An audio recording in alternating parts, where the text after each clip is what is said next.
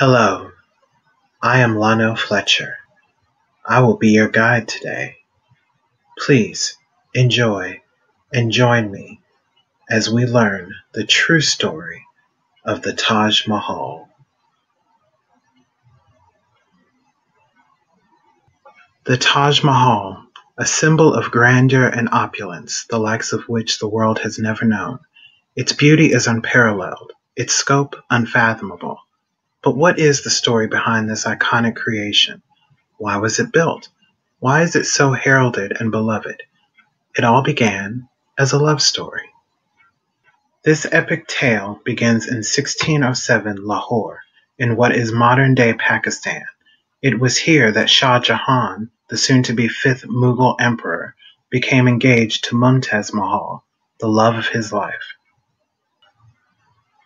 They would have to wait five years to marry, however, based on a date assigned by the court astrologer as the most conducive to ensuring the happiest of marriages.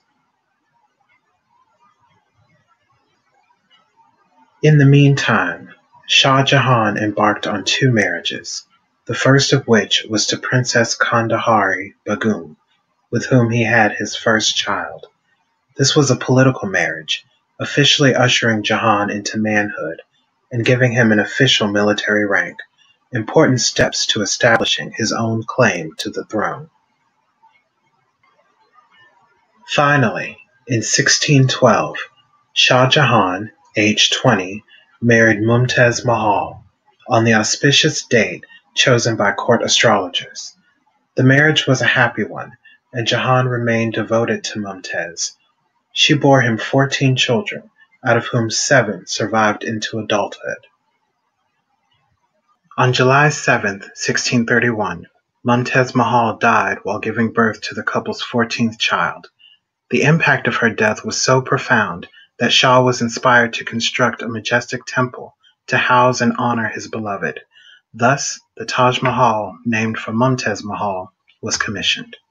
In 1658, Shah Jahan fell ill, leading to a war of succession among his four sons, where his third son, Aurangzeb, triumphed. In short order, Shah Jahan was declared incompetent, removed from the throne, and put under house arrest. Then, in a final heartbreak, Shah Jahan was kept from visiting his beloved Taj Mahal for the remainder of his life. Shah Jahan's beloved daughter, Princess Jahanara, stayed with him throughout his exile, and upon his death in 1666, sent his body up the river toward the Taj Mahal. Today, it is interred next to the body of his beloved Mumtaz Mahal. Construction on the Taj Mahal began in 1632 and completed in its entirety in 1653, employing some 20,000 laborers under the guidance of the court architect to the emperor, Ustad Ahmed Lahauri. The building was constructed using white marble inlaid with semi-precious stones instead of the then traditional red sandstone, ushering in a new level of refinement in Mughal architecture. Arguably, the Taj Mahal's most spectacular feature is the marble dome that surmounts the tomb. It is nearly 115 feet tall and is decorated with a lotus design to accentuate its height.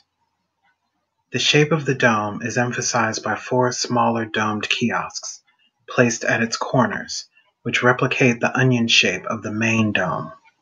The dome and kiosks are topped by a gilded finial which mixes traditional Persian and Hindustani decorative elements. The exterior decorations of the Taj Mahal are among the finest in Mughal architecture. The decorative elements are created by applying paint, stucco, stone inlays, or carvings. Throughout the complex are passages from the Quran that comprise some of the decorative elements. The opulence of the Taj Mahal's interior is unrivaled with inlay work that uses a lapidary of precious and semi-precious gemstones. Together, they form several designs of twining vines, fruits, and flowers. The interior walls are over 80 feet tall and are topped with a replicate or false version of the outer dome decorated with a sun motif. The four upper arches form balconies or viewing areas, and each balcony's exterior window has an intricate screen or jalis cut from marble. Each chamber wall is highly decorated with dado bas relief, intricate lapidary inlay, and refined calligraphy panels which reflect, in miniature detail, the design elements seen throughout the exterior of the complex. Calligraphy is heavily incorporated throughout the Taj Mahal's design.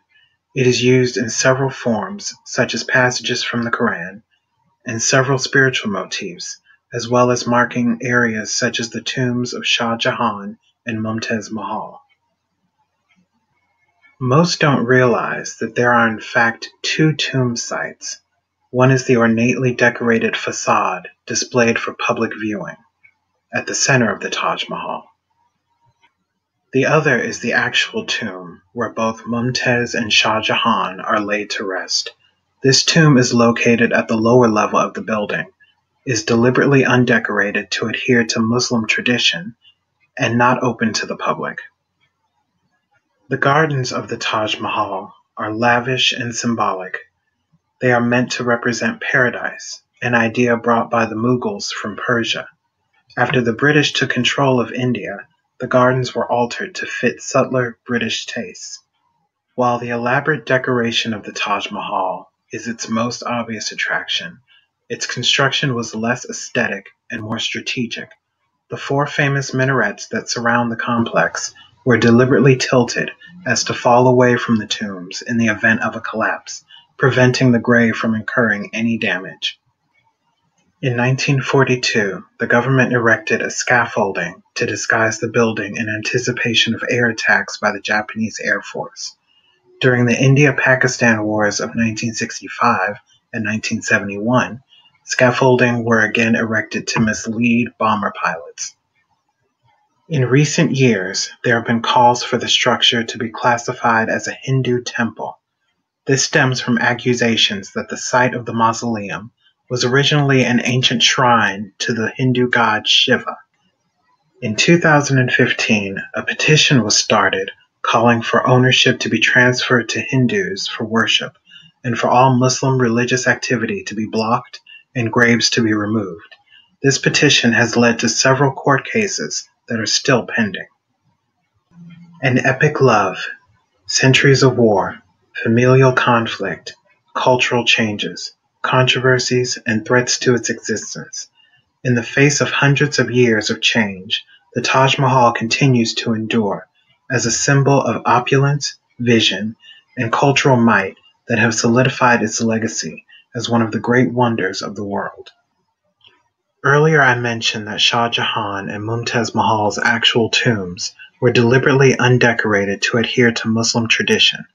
What is this tradition? Clue. It's considered a feminine virtue in most cultures.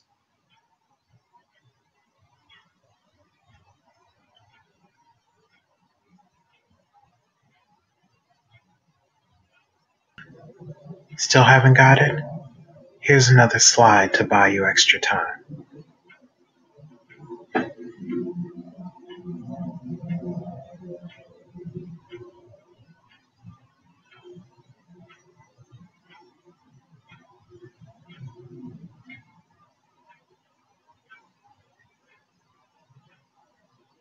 Give up? Answer. It is the tradition of modesty.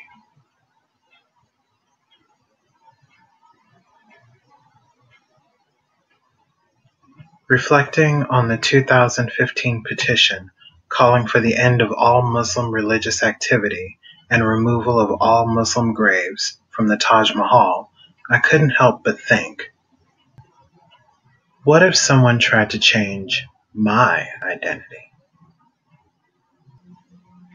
To try and erase and make me over